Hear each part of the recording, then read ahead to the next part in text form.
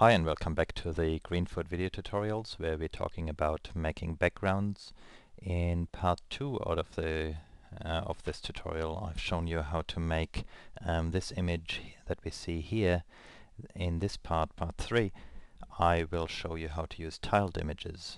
Um, uh, we can go to our world again and select the set image option again to select another image uh, to use for the background here. And for backgrounds of worlds, of course, the backgrounds category is the most um, interesting, most relevant category to see. And here we see that there are um, any number of background images available. For my um, world here, which is a, a desert, um, I might um, choose a sandy looking uh, image. Here I've got two sand patterns here and let's say I choose this one, sand 2. Um, that gives me a sandy um, background image, and if I compile that now, now the world will be filled with this um, sand image.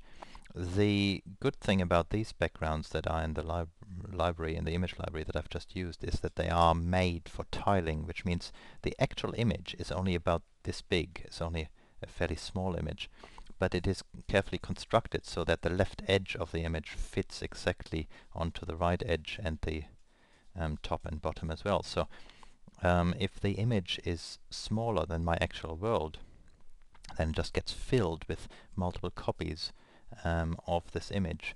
And because they fit together very nicely, we don't see any seams here, and so um, it fills very nicely the whole background of the world. The good thing about using tiled images is that this is now not sensitive to the size of the world.